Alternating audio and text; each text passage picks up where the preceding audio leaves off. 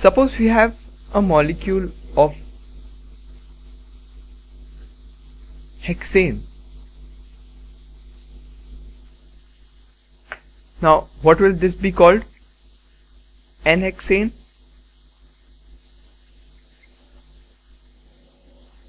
Now can you draw the structure of isohexane?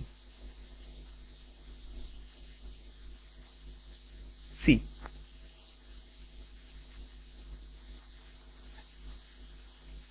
you have to take the end carbon and shift it to you have to start with 1 2 3 4 5 6 the end carbon you take and shift it to carbon number 2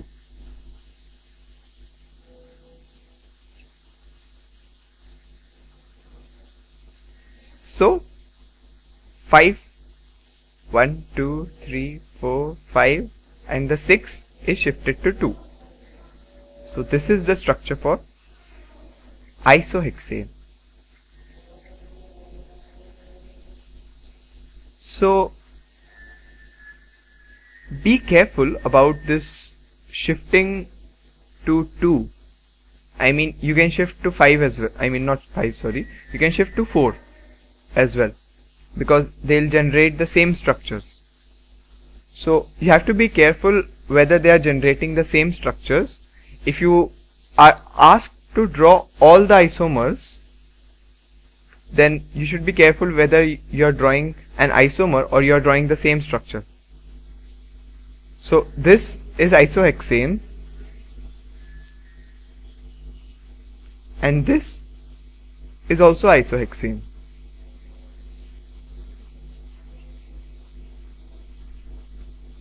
Because you flip this and this becomes 1 2 1 2 3 4 5 becomes 1 2 3 4 5 and on 2 we have this.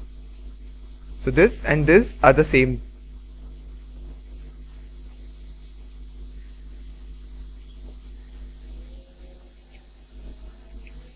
Now if you have neohexane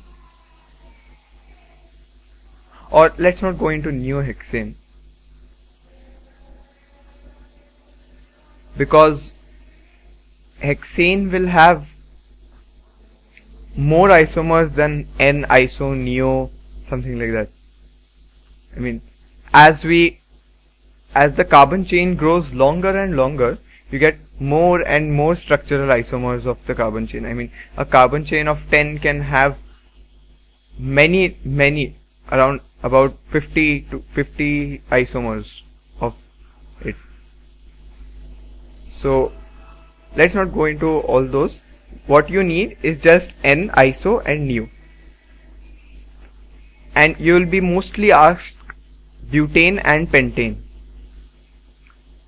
You see that propane cannot have any structural isomers neither can ethane and methane of course cannot have. Because in propane shift this to this and it remains same because it's already bonded to this. Shift this to this. It's again in straight chain. In ethane also it's the same. And in methane you have only one carbon. You have no carbon to shift to. So isomerism structural isomers for alkanes generally starts from not generally actually starts from butane. Now as I was telling there are more forms of isomerism. So we know now about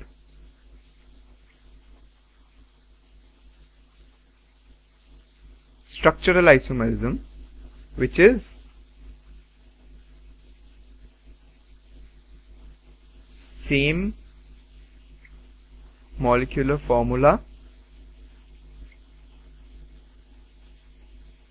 but different structures in space. Now, we have seen about rings.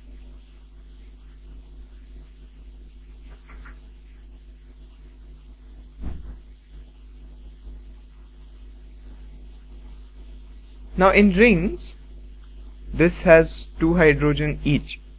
So it's 2 into 1, 2, 3, 4, 5, 6. It is 12 hydrogen and 6 carbon. Now, do you find this formula similar to some compound? This is cyclohexane which has this formula C6H12. Now C6H12 if you remember it's in the form CnH2n see? N is 6 2n is 12 and what's CnH2n it represents alkenes so in this cyclohexane has shares a common formula with alkene. And which alkene? This is this is an alkene and it's C6 so it's hexene so this cyclohexane and hexene have a same formula but different structures. So doesn't that fit into the definition of isomerism? Hexene and cyclohexane are isomers. But they are not structural isomers in structural isomers we need a modification the definition. It's that they have the same molecular formula but different structures in space. But structural isomers are concerned only with straight chain and their branches. They are not concerned with this ring. This ring is not structural isomers. This isomerism. So structural isomers are concerned only with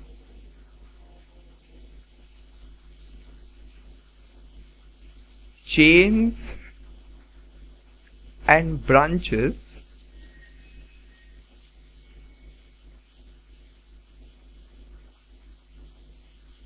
but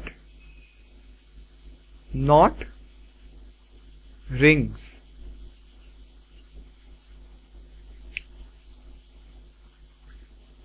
Because you see, if you take rings into structural isomers, you'll get isomers like cyclohexane, which is an alkane, cycloalkane, and hexene, which is an alkene. So and in structural isomers you always had butane common. You did not change from butane to butene or pentane to pentene. But here this cyclohexane changes to hexene. So this is not included in structural isomerism